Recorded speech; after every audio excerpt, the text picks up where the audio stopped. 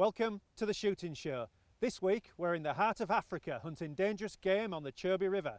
Byron Pace takes up the story.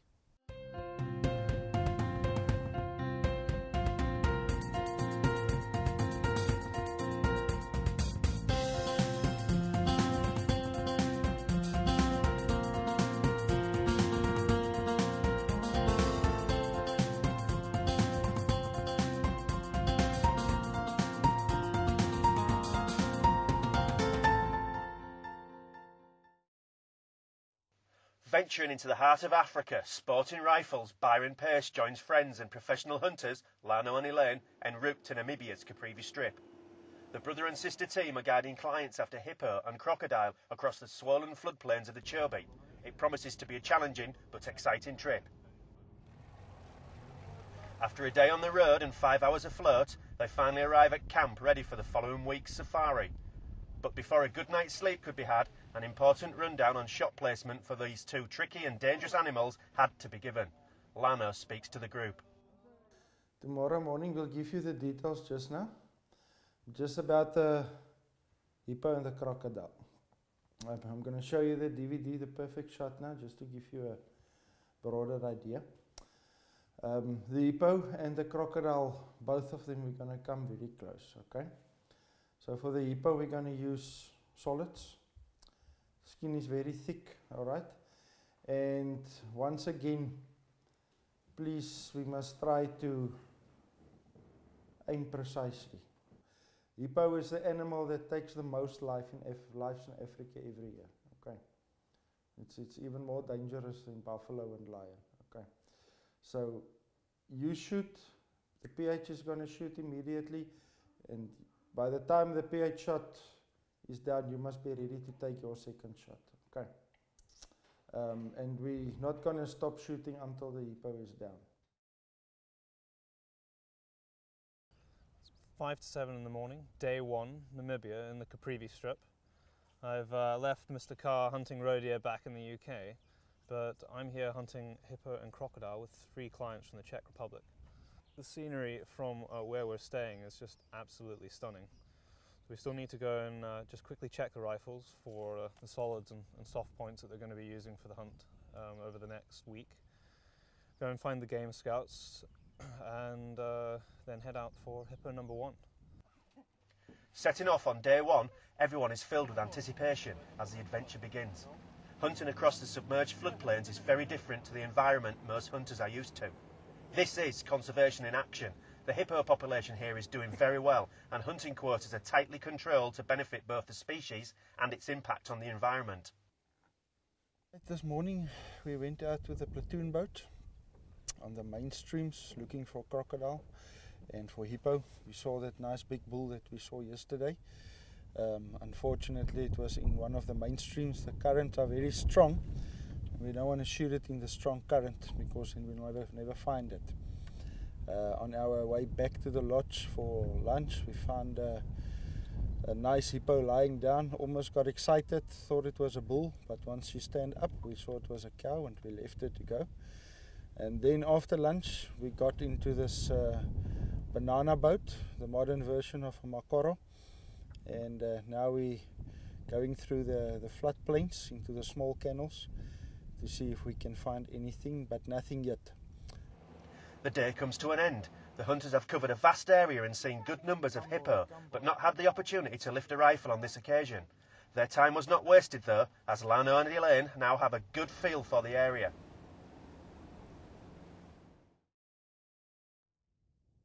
Under a cold morning sunrise, the hunters set off across the water once again. Quickly they spot a pod of hippo behind some reeds not far from camp. Could this be the first opportunity for a bull?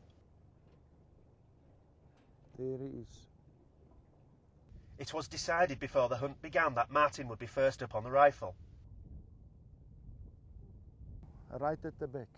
Right at the back. He's f- facing that way. Okay? You see the eyes and the, and the ears? There is. You see that one? Mhm. Okay. The one, the one that's uh, with a bird. Yeah. With a bird, yes. When you're ready, shoot.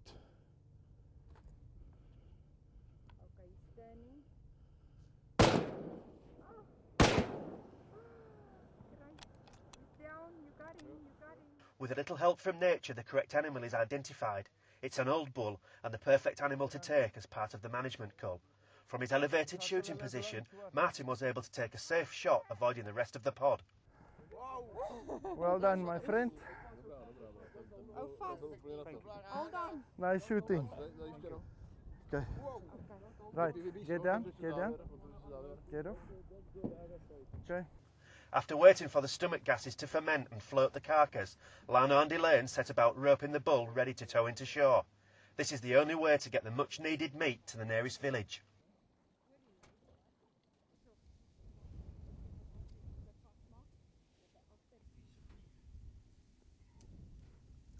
Moving two and a half tons of dead weight is no easy task.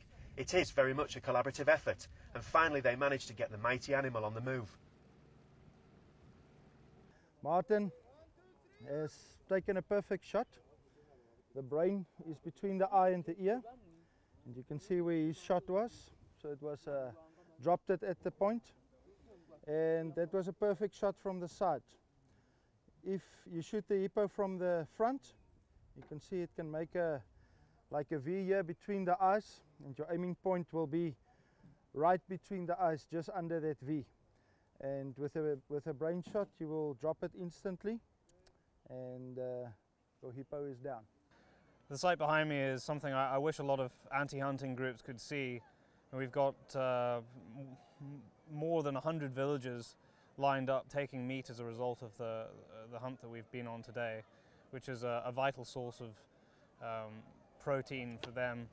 And not to mention the, the income that's generated through hunting in a remote area like this. Uh, we're right up in the, the north of Namibia on the border with uh, Botswana. Uh, there is, really isn't a lot uh, in the way of work up here. You've got tourism and you've got hunting, and that's pretty much about it. The rest is all subsistence living. Uh, you can see the, the amount of people that are, are being supported and you know getting some benefit out of the, the hunting that's gone on today. We have uh, one very happy client in the boat uh, and uh, a lot of full bellies tonight. We've had a, a pretty successful day today. We've managed to bag one of the three hippos that we've come out here for. We're going to just finish up here, uh, pack up, and get back to camp. I think probably a few drinks and celebration tonight will be the order of the day. And then up again early, first thing tomorrow morning, uh, go and try and, and try and uh, fit in two hippos tomorrow. With one management bull already in the bag, the hunters head out to find the next suitable animal. Larno and Elaine take the group to a hidden channel. The pontoon boat is too heavy to move through the shallow water, so everyone transfers over to the banana boat, a much more suitable craft to tackle the reed beds. Red lays out the plan of attack. We've seen five really quite big hippo, uh, which included a very, very nice bull. Uh, but when the boat arrived, they got a little bit spooked and slipped off into the water. So what we've done now is we've come up the channel um, one, one and a half k's, and we're just going to sit it out here in the shade uh, while they do their thing and hopefully come back out on the bank onto dry land. They look pretty keen to to get back out the water and into the sun. We didn't want to hang around and force them uh, further into the, the reeds where we wouldn't be able to find them again. So um, let's, let's hope that the plan works. I mean, you're expecting a big bull to be two and a half, 2.6, 2.7 tons. That's a lot of hippo to get angry. Um, you don't really want to make any mistakes when you're hunting them. After watching the hippo surfacing in a secluded pool, Larno and Elaine prepare Milan to take the shot. There's very little surface time and it's a small target, but on land they are steady and comfortable. They can take their time.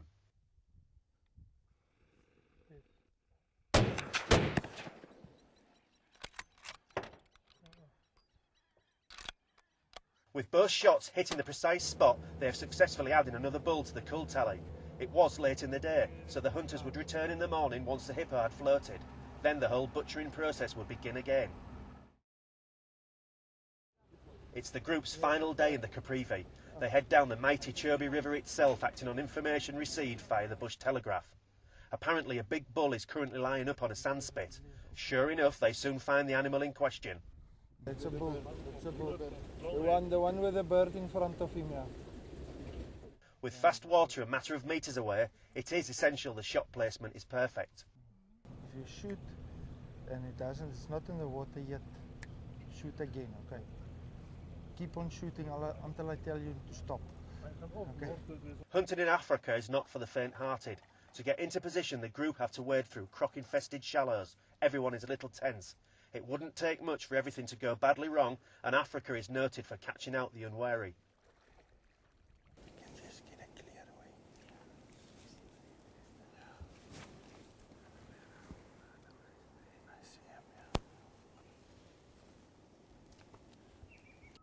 Identifying the bull, Milan readies for his second hippo.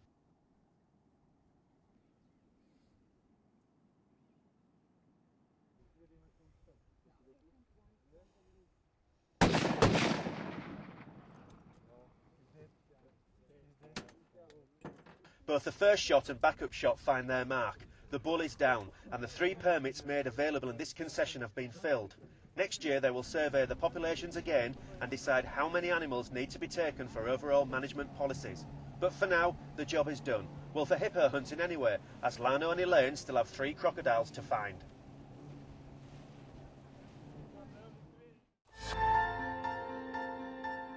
Byron there, once again living life on the edge. And now, from the dark continent to the shooting show news.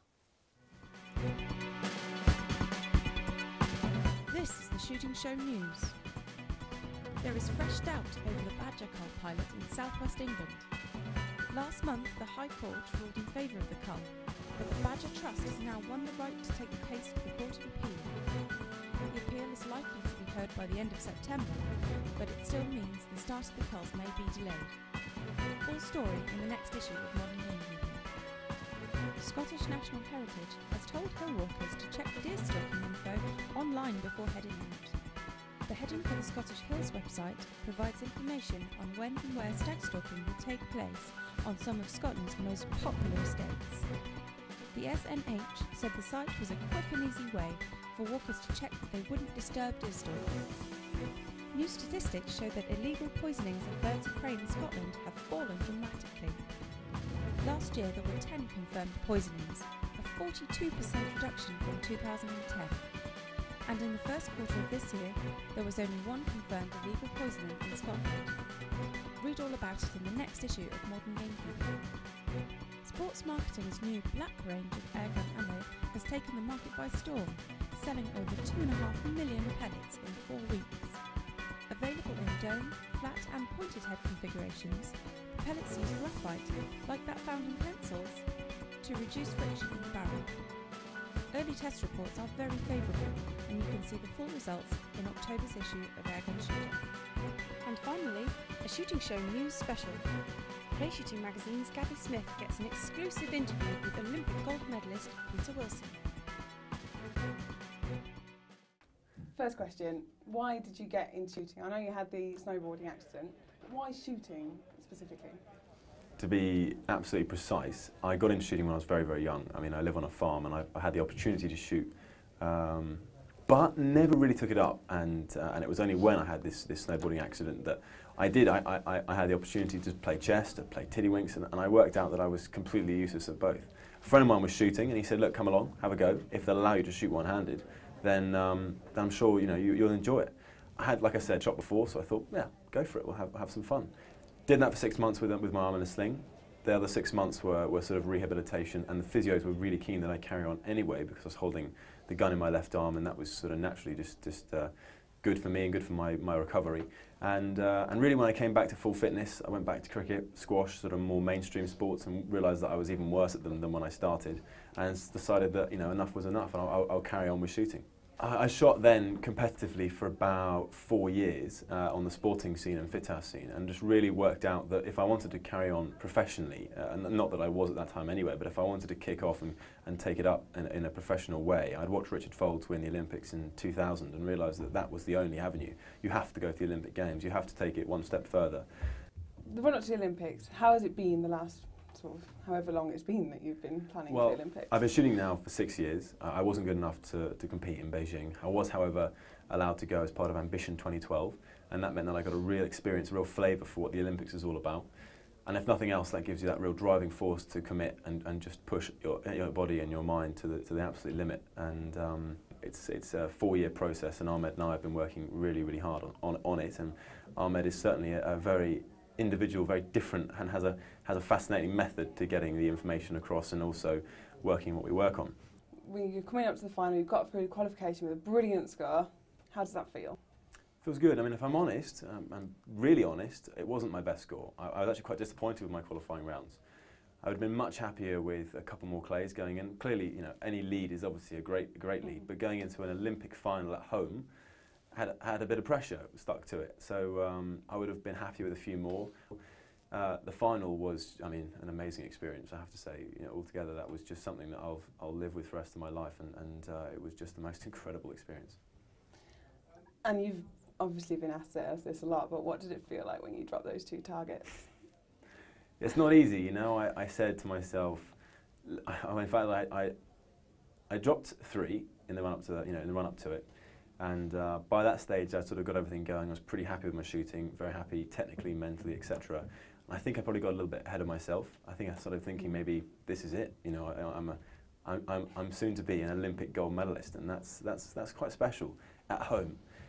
And that was really the only thing I put that, that, that attribute, that double miss down to. And uh, and that's, that wasn't something that I was too fussed about, if I'm honest, because it's just a mental tweak. I allowed myself to look at the board when we went to past peg three, so I had two pairs to go. I realised I had a lead.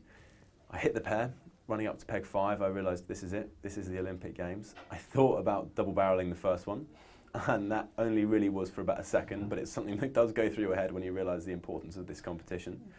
And I thought, this is it, let's just do this, let's get this done, let's finish this job off, and let's just go home and play a bit of table tennis. So. Uh, so I did, and I shot the pair. Read the full report on Wilson's win in the September issue of Clay Shooting, out next week. Any farmer will tell you that the weather this year has been terrible, but it's not just crops that have been affected. Our wild game has been hit particularly hard. I travelled from my home glens in Angus to speak with sporting rifle writer Andy Malcolm about the upcoming grouse season. Last year was a really good year for grouse in Angus and across Scotland as a whole. What were the components that came together to make it so successful? Um, a combination of things. Um, for a start, a lot of places had good stock from the year before, uh, which you always need. But uh, on top of that, we had uh, an excellent spring, and uh, the grouse uh, nested very well. This year, that's not the case. By all accounts, it looks like grouse have really struggled. What is it that's hampered grouse survival so much? Well, um, again, we, we left good stock, perhaps too many, um, and it wasn't long after the shooting season last year that we started to see signs of um, of disease in amongst our grouse, you know, Tristonga worm infestation, and uh, that carried on through the winter. So uh, we lost quite a few birds to that, we think, and um, coupled with that, we had a really lousy spring. We had a great March, which might have fooled us, the, the grouse into sort of nesting early, and then we had uh, foul weather for a long time, including snow at the start of June. This damp, cold weather hasn't really helped things either, has it? Not at all, not at all. Especially if your your hens are weak as well, uh, which might be the case if they have a high worm burden.